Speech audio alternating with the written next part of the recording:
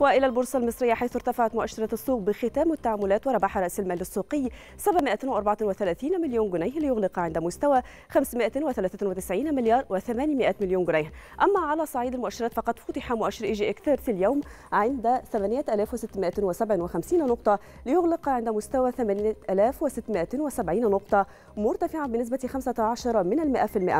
أما عن مؤشر الشركات المتوسطة والصغيرة EGX 70 فقد فتح اليوم عند 1659 نقطة ليغلق عند مستوى 1669 نقطة مرتفعا بنسبة 57 من المئة في المئة.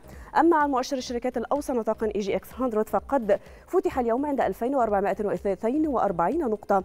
ليغلق عند مستوى 2454 نقطة مرتفعا بنسبة 48 من المئة في المئة. من البورصة المصرية إلى أسواق العملات حيث تباينت أسعار العملات أمام الجنيه المصري ليسجل الدولار الأمريكي. سعر الشراء وصل اليوم إلى 18 جنيها 82 قرشا.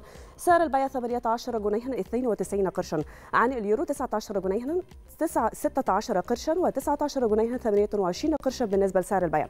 نصل للجنيه الاسترليني 22 جنيها 37 قرشا وسعر البيع 22 جنيها 51 قرشا.